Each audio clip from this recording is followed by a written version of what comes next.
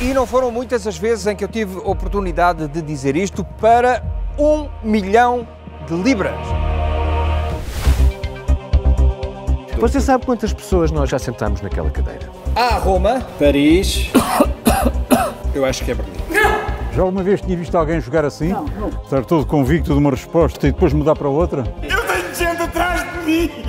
Seu perfeito idiota! Calma, querida, isto não resolve nada! Querida, não, E apenas cobramos uns modestos 25%.